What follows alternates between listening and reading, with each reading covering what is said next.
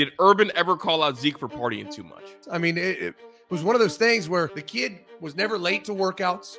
He never was like hung over and couldn't practice or go hard. So it's like the kid goes out and parties at night like he's a college kid.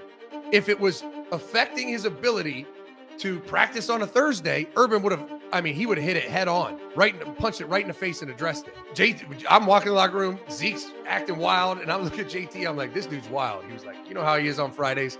He gets that Thursday night in him, and he comes in here wilding.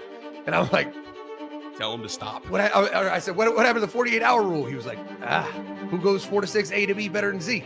It's, it's hard to tell him not to go out on Thursdays when that some bitch shows up Monday, Tuesday, Wednesday, Thursday, Friday walkthrough, Saturday game, and goes harder than anybody on the team. What are you going to say to him? Don't go out on Thursday. Like, okay, why? I'm good.